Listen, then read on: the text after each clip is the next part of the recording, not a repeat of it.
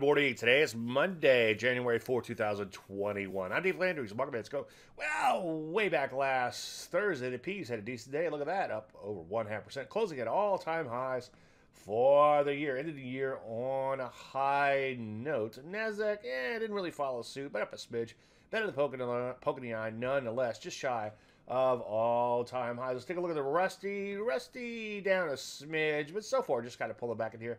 So far looking pretty darn good. Drugs had a decent day, a little bit of a bounce after dipping back into their prior range. Biotech also recovered off their worst levels, down a smidge though. So far, just pulling back in here.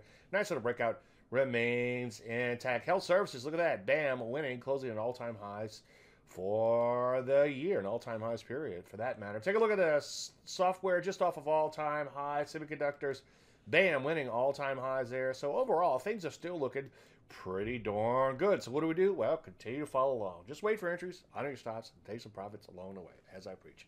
Any questions? David at I'm Dave Landry, and you.